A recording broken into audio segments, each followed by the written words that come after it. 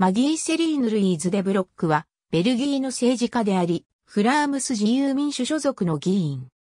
2013年から翌2014年にかけて、フランドルで最も人気のある政治家に選ばれており、2014年10月から2020年10月にかけて社会問題、厚生大臣を務めた。メルシテムに生まれる。ブリュッセル自由大学の医学部を卒業し、その後25年間を開業医として過ごした。彼女の弟であるエディ・デブロックはメルシテム市長だった。その後1999年にブリュッセル・ハルビルボール選挙区から出馬し、2011年までベルギー代議員を務めた。2011年10月、エリオ・ディルポ内閣の下で亡命、移民、社会統合大臣となる。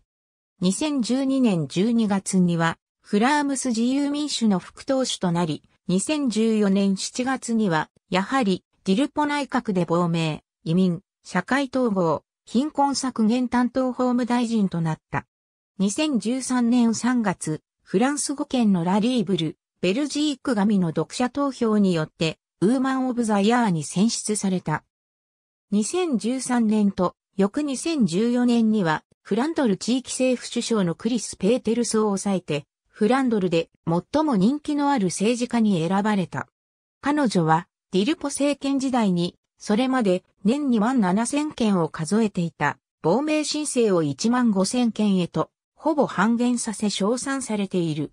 2014年10月にミシェル政権が発足し、デブロックは社会問題、厚生省に就任した。抱負を述べるにあたり、彼女はこの職務が自分の夢であったと語った。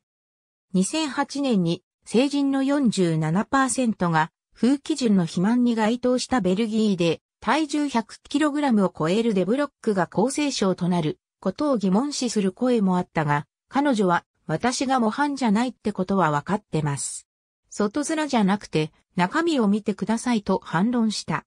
社会問題、厚生省としてのデブロックの最初の仕事は国を挙げての西アフリカでのエボラ出血熱の流行への対応であった。ありがとうございます。